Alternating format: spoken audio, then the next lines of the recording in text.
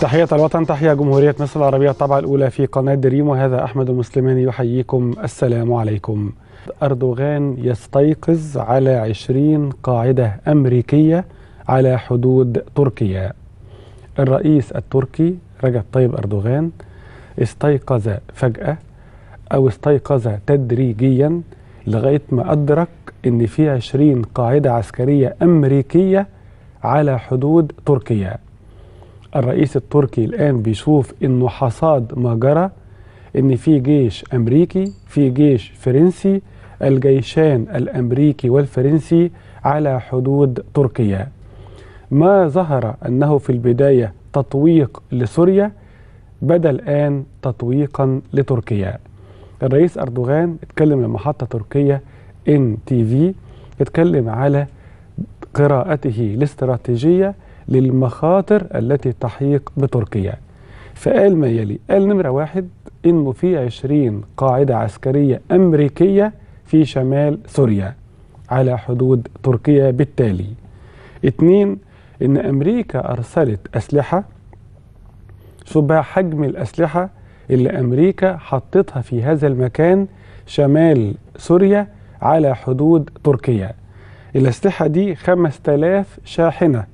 ده تقدير الرئيس التركي. يعني 5000 عربية نقل كبيرة شايلة سلاح. و3000 شحنة جوية. إذا بتتكلم على البعض بيقول 2000 شحنة جوية. بنتكلم على 7000 ما بين شاحنة وشحنة جوية. لو كل شحنة أو شاحنة فيها 100 150 200 سلاح يعني 100 150 200 قطعة ده معناه قرابة مليون قطعة سلاح بقت موجودة على حدود تركيا. الرئيس أردوغان بيقول إن الكلام اللي اتقال إن كل ده من أجل تنظيم داعش. لكن هو بيسأل دلوقتي وبيقول يا ترى كل القواعد دي علشان تحارب مين؟ وكل الشاحنات ديت عشان ضد مين؟ وكل الشحنات الجوية اللي نزلت كأسلحة ديت علشان تقاتل مين؟ بتعبير الرئيس أردوغان السؤال ضد من هذه القواعد؟ ده السؤال. كل القواعد دي 20 قاعدة عسكرية أمريكية كل هذه الشاحنات كل هذه الشحنات علشان تنظيم داعش هو بيقول لأ إن الهدف تركيا وإن الموضوع مش موضوع تنظيم داعش وإن ده دعم لجماعات كردية متطرفة أو ما إلى ذلك. إنما النتيجة النهائية إن تركيا الآن محاطة بعشرين قاعدة عسكرية أمريكية بحوالي مليون قطعة سلاح بين شاحنات ضخمة كتيرة جدا أو شحنات جوية كل دي أفرغت حمرتها من السلاح في شمال سوريا. يبقى دلوقتي بقت تركيا محزمة بحزام من نار. إن في جماعات وتنظيمات في أسلحة في دعم خارجي وكل دول على أبواب تركيا. ده اللي خلى الرئيس التركي يفزع مش بس يقلق وإنما يفزع ويتساءل السؤال ضد من هذه القواعد. زمان كان النظام التركي متسامح جدا متفاهم جدا كانت علاقته ممتازة بكل دول الجوار وكل الدول العربية وكل دول العالم وكان في معادلة إن المشاكل مع العالم تبقى زيرو تبقى صفر تصفير المشاكل. دلوقتي في مشاكل مع دول كتيرة جدا.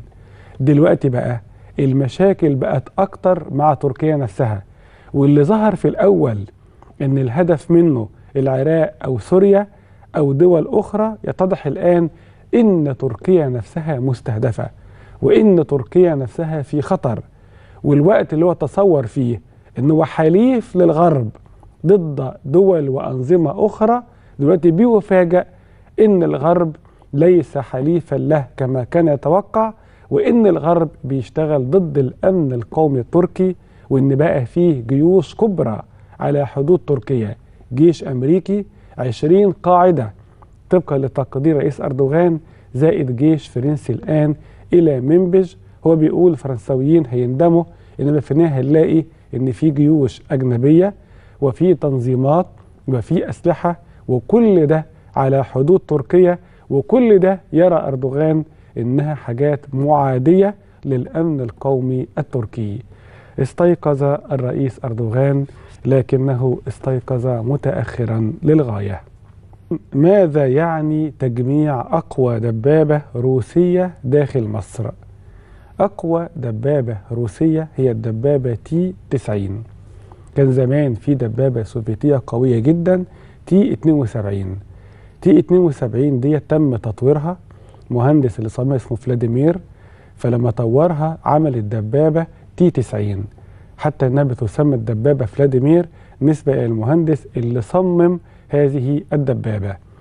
تي 90 هي أقوى دبابة روسية في القرن الحادي والعشرين وده تقدير خبراء في موقع روسيا اليوم. تي 90 هي أقوى دبابة روسية في القرن الحادي والعشرين. تي 90 حوالي وزنها 46 طن تواجه بمدافعها القوية جدا الدبابات والدروع والمروحيات وعندها قذائف خارقة فيها قدرة شديدة على الانفجار وتقدر تواجه صواريخ ودبابات ودروع ومروحيات وما إلى ذلك. إذا حضراتكم هي تواجه صواريخ من اللي تطلقها الدبابات المضادة. يعني تواجه دبابات وتواجه دروع وتواجه أيضا بعض المروحيات. الدبابة القوية دي تي 90 لما بدأت كان ثمنها حوالي 2 مليون دولار. الدبابة الواحدة ب 2 مليون دولار. لكن الطلب عليها زاد قوتها ظهرت سعرها زاد. دلوقتي الدبابة ب 4 مليون دولار يعني ضعف السعر تقريبا للدبابة الواحدة تي 90 دلوقتي الشركة المنتجة شركة أورال الروسية المنتجة للدبابة تي 90 اتفقت مع مصر طبقا للمواقع الروسية إن هيتم إنتاج هذه الدبابة في مصر. هيتم تجميعها وإنتاجها وبدء عملها طبعا وتشغيلها داخل مصر وإن مصر هتنتج من هذه الدبابة تجميعا حوالي 400 دبابة في المرحلة الأولى. وده معناه إن إحنا بننتقل في بعض الأسلحة من الاستيراد أو مشتريات السلاح إلى التجميع. وفي أسلحة أخرى إحنا فيها في مرحلة التصنيع. وفي أسلحة بنستوردها وندخل معاها مرحلة التطوير. فبتستوردها بمستوى لكن بتطورها إلى مستوى آخر. وفي أسلحة بنستوردها ونستخدمها كما هي. لكن في أسلحة طرأ عليها تطوير. أسلحة هتجمع ثم تصنع لاحقا. أسلحة بتصنع كلها داخل مصر. ده معناه أن الرؤية الكبيرة لتحديث الجيش المصري والتي بدأت منذ سنوات في عهد الرئيس السيسي حين كان وزير للدفاع ثم رئيسا للجمهورية قائدا أعلى للقوات المسلحة سواء التدريب أو رفع الروح المعنوية للجيش أو عملية التسليح وصول إلى المركز العاشر على مستوى العالم من أقوى عشر جيوش في العالم ده معناه أن في رؤية استراتيجية لتحديث القوات المسلحة بعضها فيما يخص التسليح تصنيع بعضها تطوير بعضها تجميع بعضها مشتريات إنما في رؤية بتجمع كل ده في إطار إن إحنا نصل في المستقبل إلى مستوى أعلى من التصنيع العسكري الثقيل. الدبابة تي 90 أقوى دبابة روسية في القرن الحادي والعشرين يبدأ تجميعها في مصر قريبا. كيف تجرأت داعش وقررت خطف رئيس وزراء ماليزيا؟ 2014 الصعود الكبير لتنظيم داعش. 2014 الخطبة الشهيرة لأبي بكر البغدادي. 2014 الناس كلها كانت في فزع هذا التنظيم جاي منين؟ ورايح على فين؟ ومين اللي وراه؟ وإيه بقى الذبح والقتل والدماء والكوارث اللي عملها هذا التنظيم في أماكن تواجده. وفوجئنا بعواصم حضارية كبرى زي الموصل بتسقط وراءها حواضر أخرى تحت هذا التنظيم الإجرامي الآثم. إنما وجه آخر لهذا التنظيم أو وجه آخر ضمن تمدد هذا التنظيم في العالم كان برضو 2014 بدأنا نلاقي في ماليزيا في أندونيسيا حركات متطرفة بدأت تبايع داعش وتنضم إلى تنظيم داعش. في 2014 كان في خطة كبيرة لضرب العاصمة الماليزية كوالالمبور إن هم كانوا هيسرقوا أسلحة من الجيش يطلعوا من ثكنات الجيش الماليزي بعد ما يسرقوا الأسلحة ديت ينفذوا بها أربع هجمات ضخمة في العاصمة كوالالمبور وفي مناطق أخرى في ماليزيا. إنما يناير 2015 كان في مفاجأة خطيرة جدا كشفت عنها وكالة رويترز لما أجرت حوار مع أحمد زاهد نائب رئيس الوزراء في ذلك الوقت. نائب رئيس الوزراء أحمد زاهد قال لرويترز إنه تنظيم داعش عمل خطة كان 13 فرد ثم بقى الشياطين ال 13 الخطة ديت إن هو يخطف رئيس الوزراء. ده عملية بقى أعقد من اغتيال رئيس الوزراء. ماليزيا دولة برلمانية. رئيس الوزراء هو زعيم البلاد. الشخصية رقم واحد سياسيا في الدولة. فزعيم البلاد اللي هو رئيس الوزراء داعش عمل خطة لخطف رئيس الوزراء. شوف بقى كمان وخطف مين؟ وخطف وزير الدفاع. وخطف وزير الداخلية.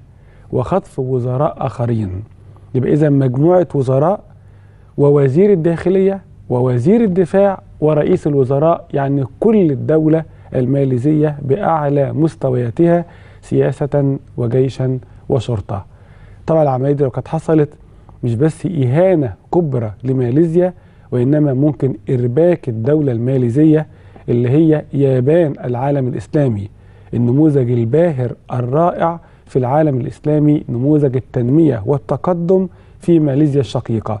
فتخيل هذا التنظيم اللي خطط لخطف رئيس الوزراء وزير الدفاع وزير الداخلية وزراء آخرين كان ممكن إيه اللي يحصل لو نجح في تلك الخطة الإجرامية سنة 2015 2018 كل شوية بنلاقي خبر في ماليزيا عن إلقاء القبض على مجموعة من تنظيم داعش.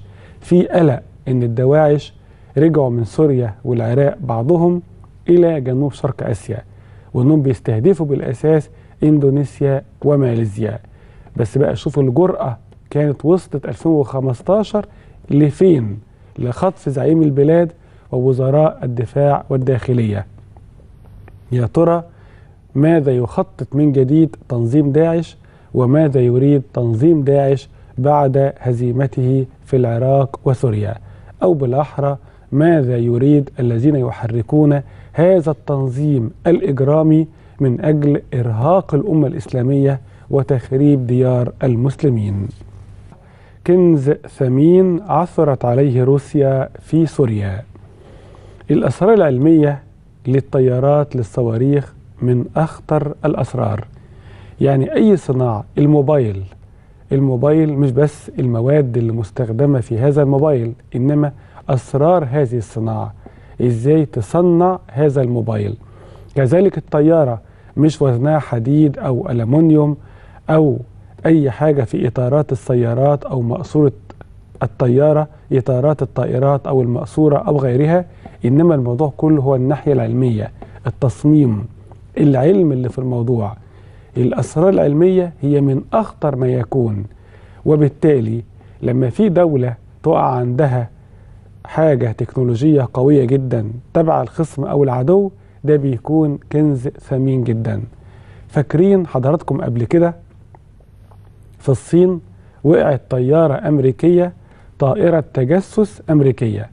لما وقعت في الصين الصينيين خدوها ورفضوا يسلموها إلا لما يفكوها كلها يفككوا هذه الطائرة ويعرفوا أسرارها وتركيبها والنظريات اللي هم اعتمدوا عليها في البناء الهندسي ليها لما ياخدوا كل الأسرار لهذه الطائرة. في كنز ثمين جدا وقع في إيد روسيا في سوريا. هذا الكنز طبقا لروسيا إنما أمريكا لم تؤكد هذا الأمر إلى الآن بالعكس كان في سقوط أي صواريخ سواء بالدفاع الجوي أو سقوطها سليمة على الأراضي السورية. ما هو الكنز؟ صواريخ توماهوك من الصواريخ القوية جدا وهي فخر الصناعات العسكرية الهجومية الأمريكية. فالروس بيقولوا إن في اتنين صاروخين توماهوك وقعوا على سوريا الأراضي السورية في الضربة الثلاثية الأخيرة والصاروخين دول لم ينفجرا. وده معناه إن في اتنين صواريخ توماهوك سلام موجودين على الأرض في سوريا. اللي حصل إن الروس اخدوا الصاروخين دول ونقلوهم على روسيا. البعض كان بيقول من الخبراء هل ممكن الصاروخين دول ينفجروا؟ ما ممكن الصاروخ ما انفجرش على الأرض. تيجي بقى تنقل هذه الصواريخ واصلا كان عندها أمر بالضرب ممكن تنفجر في الطريق. إلا إن خبراء قالوا مش هينفجر الصاروخين وتم نقلهم بالفعل اتنين توماهوك إلى روسيا. طيب الروس كده عثروا على كنز ثمين جدا يعني اتنين توماهوك في سوريا. تخيل بقى الروس لما يكون عندهم هذا الكنز الكبير. توماهوك اللي هو فخر الصناعات الدفاعية الصناعات الهجومية الأمريكية يكون موجود عند الروس. طب هم ممكن يستفيدوا إزاي؟ نمرة واحد حضراتكم دراسة لماذا لم ينفجر الصاروخين دول؟ ليه ما انفجروش؟ فطبعا العلماء والخبراء والمهندسين والمختصين هيشوفوا الصاروخين دول ليه ما انفجروش. هم تلقوا الأمر وبعدين نزلت الصواريخ. المفروض إن عندها أمر ذاتي إن المحرك حتى لو تعطل لو حصل كذا بينفجر الصاروخ توماهوك اللي هو من أقوى الصواريخ في العالم. يبقى اذا أول سؤال علمي هيشتغلوا بقى عليه في ورشة عمل قوية جدا جدا لماذا لم ينفجر الصاروخان توماهوك الأمريكيان؟ نمرة اتنين منظومات التحكم والتوجيه. دي منظومات قوية جدا خطيرة جدا. فيا ترى بقى منظومات التحكم والتوجيه ديت إيه بقى أبعادها؟ وإزاي بيتم التحكم في توماهوك وإزاي بيتم توجيهه؟ برضو المهندسين المتخصصين والفنيين هيدرسوا هذه المنظومة. لما تدرسها تعرف تقلدها أو تعرف تواجهها. نمرة ثلاثة تحليل غطاء. هيكل الصاروخ اللي هو قادر على مواجهة موجات الراديو وإن هو كمان يتهرب من أي مراقبة. فيشوفوا هذا الطلاء. إيه اللي بيخلي هذا الصاروخ يتخفى ويبقى شبحي والرادار ما يقدرش يرصد هذا الصاروخ؟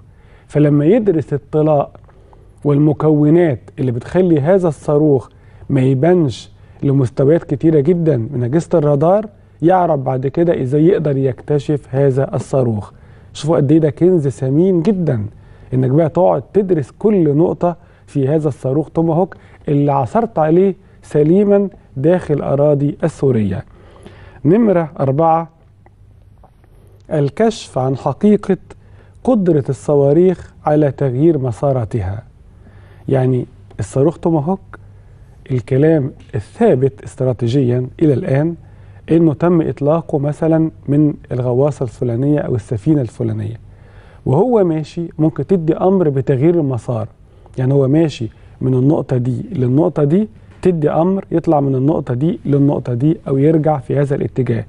لو أنت استخدمت أو عرفت الطريقة اللي بيها الصاروخ توماهوك يتم توجيهه بعد إطلاقه هيتأكدوا الأول هل ده صح ولا ده كلام مش مظبوط؟ هل دي حقيقة علمية عسكرية استراتيجية ولا يا ترى دي دعاية أمريكية وإعلام غربي؟ الحاجة التانية بقى لو أنها حقيقة أمريكية وهي طبعا الأرجح حقيقة أمريكية إزاي بقى أن هو يقدر يتعامل مع هذا الصاروخ؟ نمرة خمسة تحليل قدرات هذا الصاروخ مقارنة بالصواريخ المجنحة الروسية. سباق تسلح. عندنا توماهوك وعندنا صواريخ أخرى موجودة في روسيا هيتم المقارنة. وإزاي بقى ممكن الصواريخ الروسية تعدي الصواريخ الأمريكية بعد ما يشوفوا مزايا الصاروخ توماهوك وأخيرا تحسين مستوى الدفاع الجوي. ما هو الصاروخ ده؟ هجوم جوي. بيواجهوا إيه؟ دفاع جوي. اللي هي صواريخ إس 300 إس 400 لما أنا أعرف بقى كل أسرار هذا الصاروخ زي ما قلت لحضرتك يعرف كل شيء يخص هذا الصاروخ من إطلاق للتوجيه للتحكم لإمكانية توجيهه أثناء التحليق. كل الكلام ده لما أعرفه علميا وأعرف كل مكوناته أعرف أطور الدفاع الجوي الذي يواجهه. إنه صيد ثمين لم تحلم به روسيا لكنه وقع أمامها في الضربة الأمريكية البريطانية الفرنسية على سوريا. طبعا ديت الرواية الروسية إن سقط صاروخين على الأراضي السورية ولم ينفجر تم أخذهم إلى روسيا لبحثهم ودراستهم. إنما الرواية الأمريكية إن ده مش صحيح. لا صحيح إن الدفاعات الجوية السورية أسقطت 71 صاروخ ولا صحيح إن في صاروخين سقطوا بدون انفجار ولا صحيح إنهم اتنقلوا إلى روسيا. الرواية الروسية حصل الرواية الأمريكية لم يحدث. حفظ الله الجيش حفظ الله مصر.